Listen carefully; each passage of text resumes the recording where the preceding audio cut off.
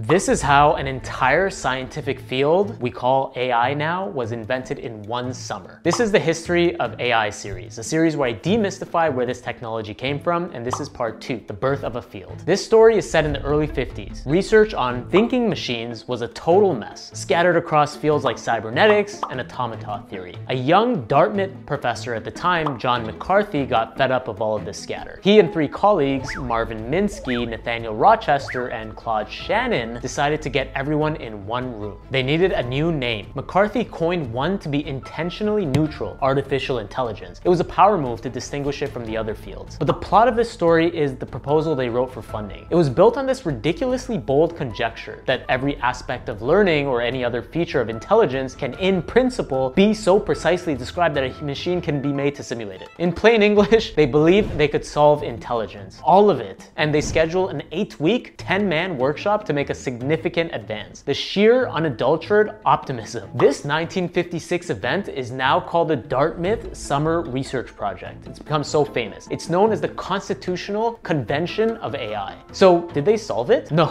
of course not. I mean, in fact, their main conclusion was, wow, this was way harder than we thought. So what's the story? They did something more important. They gave the field a name, a community, and a mission. They laid out the entire research agenda, language, abstraction, problem solving. That optimism lit a fire. Next time, we'll look at the first big story that came from it, trying to build a mind with nothing but pure, cold logic.